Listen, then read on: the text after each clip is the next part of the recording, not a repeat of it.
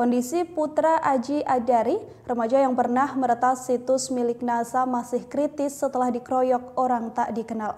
Kejadian pengeroyokan tersebut terjadi di Jalan Pesantren Ciledug, Tangerang pada Rabu 22 Juli 2020 lalu. Sementara itu berdasarkan keterangan kepolisian, satu pelaku pengeroyokan telah ditangkap. Ayah korban Darso menjelaskan saat ini Putra Aji dalam keadaan sadar.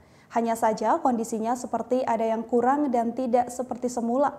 Darso mengungkapkan saat ini korban masih dalam penanganan karena luka yang dialami pada bagian kepala, diduga karena pukulan senjata tumpul. Korban juga mengalami luka robek di kedua kakinya akibat luka bacok senjata tajam.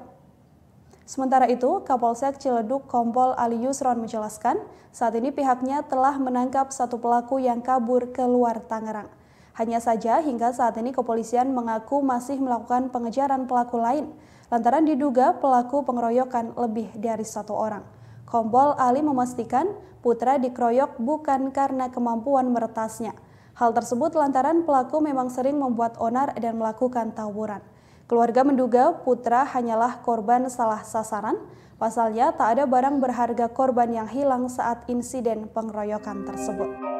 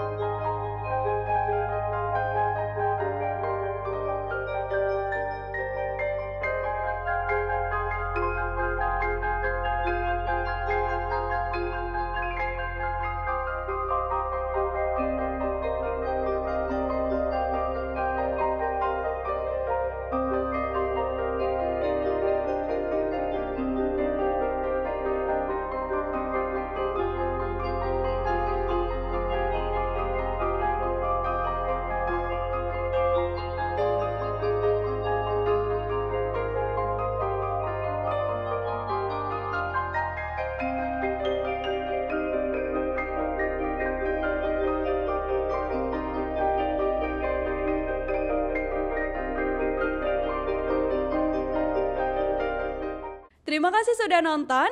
Jangan lupa like, subscribe, dan share ya.